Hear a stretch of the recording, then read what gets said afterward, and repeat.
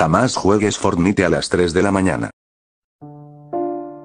Una noche de fin de semana, yo me encontraba jugando Fortnite hasta tarde con mis amigos. Debido a que no teníamos escuela decidimos jugar toda la noche. Eran alrededor de las dos y media de la madrugada y ya habíamos ganado unas cuantas partidas. Después de unos minutos, para eso de las 2.45, el juego se cerró extrañamente, yo y mis amigos. No le tomamos mucha importancia ya que solo pudo ser un fallo. Después de abrir el juego de nuevo, comenzamos a jugar otra partida de squads. Fue una partida dura la cual tomó aproximadamente 15 minutos, terminando exactamente a las 3 de la madrugada. En ese momento el juego se cierra repentinamente de nuevo dejándonos a todos confundidos.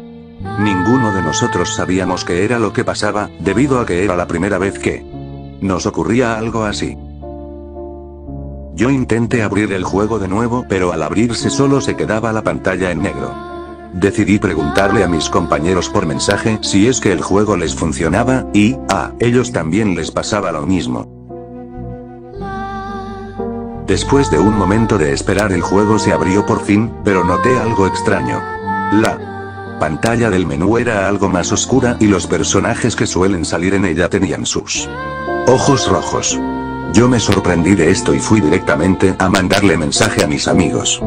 Para preguntarles si el juego ya les había agarrado y si el menú les aparecía igual, pero... Ellos me dijeron que no. Así que solamente pensé que era un bug. Una vez en el lobby, invité a mis amigos a la sala y activamos el chat de voz, yo les comenté lo ocurrido hace un momento, y ellos me dijeron que lo más probable es que fuese un fallo. Continuábamos hablando y de repente mi amigo Miguel se da cuenta de que la tienda ya había cambiado, era algo raro, debido a que la tienda normalmente suele cambiar a las 5 de la tarde y no a las 3 am.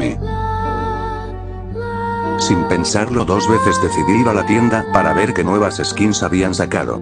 Para mi sorpresa esa skin era la misma la cual me salió en el menú, con sus ojos extremadamente rojo, les volví a decir a mis amigos de nuevo y ellos me dijeron que también les salía.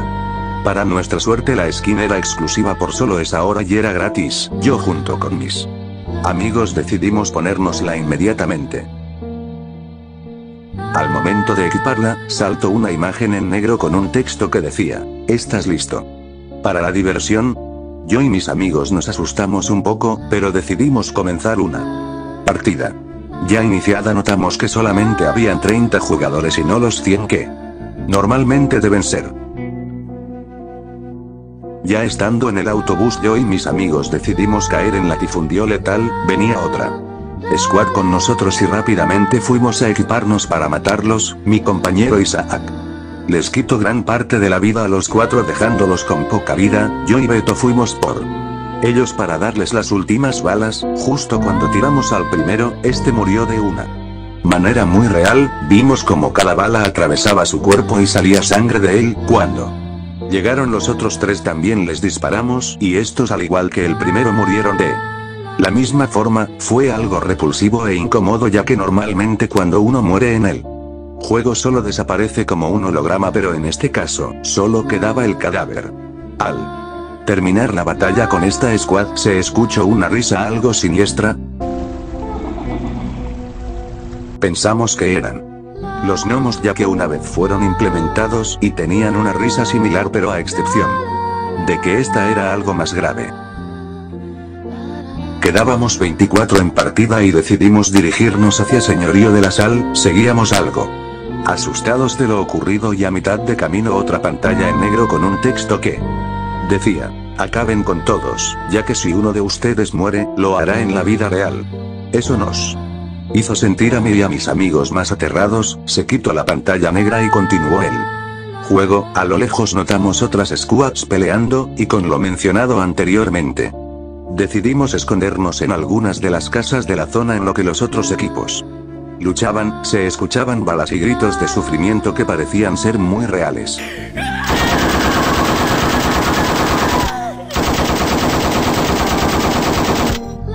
Seguimos esperando cuando de repente el equipo que sobrevivió venía hacia nosotros, así que nuestra única opción era luchar.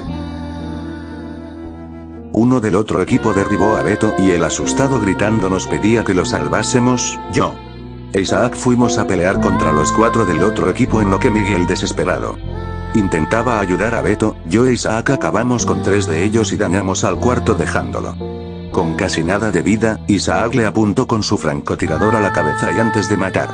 Al último, este alcanza a rematar a Beto y ambos fueron eliminados en el juego, Beto. Comenzó a perder el control, nosotros tratamos de tranquilizarlo pero después de unos segundos de intentarlo, el chat de voz de Beto se deshabilitó y este salió de la partida. Después de esto saltó otra pantalla en negro con un mensaje que decía, uno menos. Obviamente nos asustamos muchísimo así que, decidimos mandarle rápidamente mensajes a Beto. Desde el teléfono, pero este no respondía, nos preocupamos demasiado pero no había nada.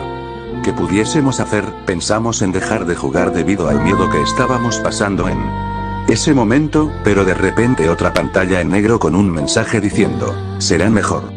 Que corran a la zona los matará, observamos el mapa y nos dimos cuenta que la zona cerraba. En Chiringuito Chatarra, lo cual estaba muy lejos para ir a pie y la zona se acercaba. Rápidamente, el equipo que habíamos matado recién dos de ellos tenía ala deltas, así que yo. Me las equipé al igual que Miguel, pero Isaac no tenía ala deltas y no habían más por ninguna parte cerca, desafortunadamente en el juego no se pueden repartir así que yo y Miguel preocupados pero sin qué hacer, construimos hacia arriba lo más que pudiésemos para acercarnos con ala deltas lo más posible hacia la zona, Isaac consciente de la situación.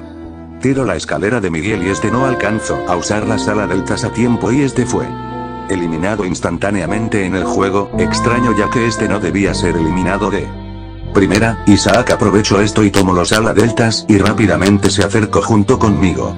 A la zona, Miguel enojado y algo preocupado gritó a Isaac preguntando por qué lo hizo y, justo en ese momento el chat de voz de Miguel también se deshabilitó.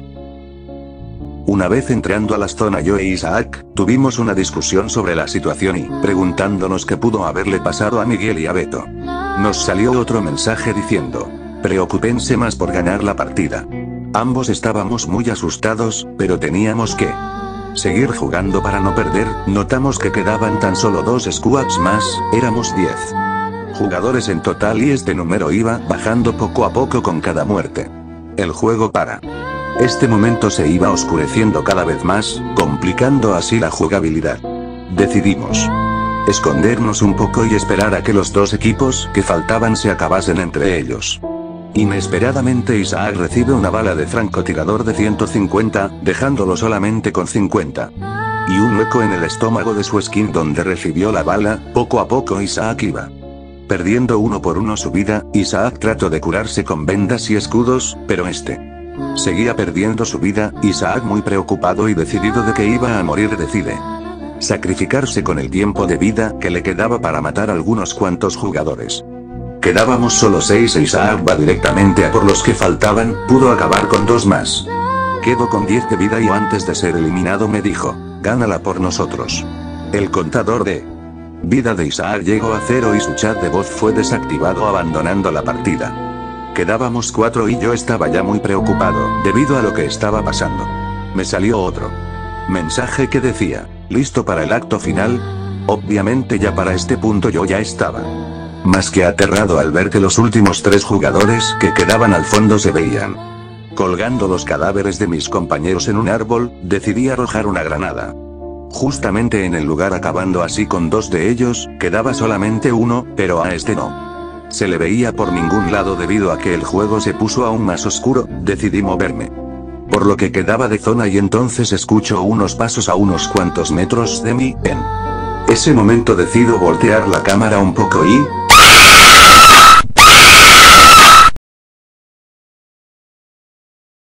El último jugador acabó conmigo, entonces mi PC se apagó completamente y todo estuvo en Silencio por un minuto, hasta que de repente escucho unos pasos que venían de fuera de mi habitación.